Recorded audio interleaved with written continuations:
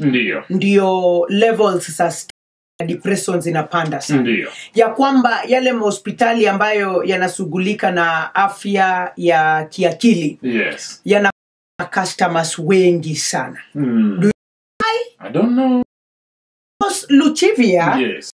during christmas umekula sangwe kabisa. Yes unasahau ya kwamba januari ndio mwezi ngumu sana kwa mwaka. Yes. But the january is the hardest and the longest month ndio. kwa mwaka.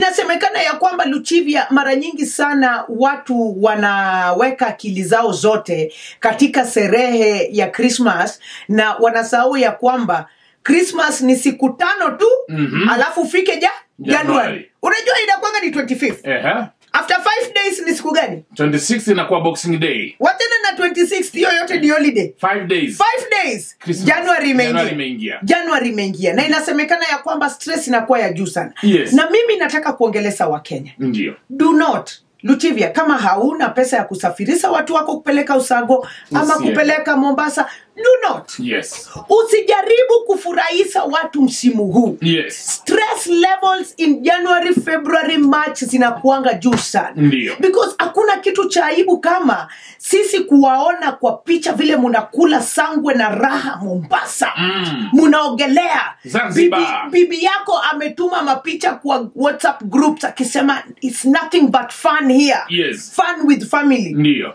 alafu wiki ya pili watoto wakifungua tu hivi mtoto wako mtoto wako amefukuzwa shule.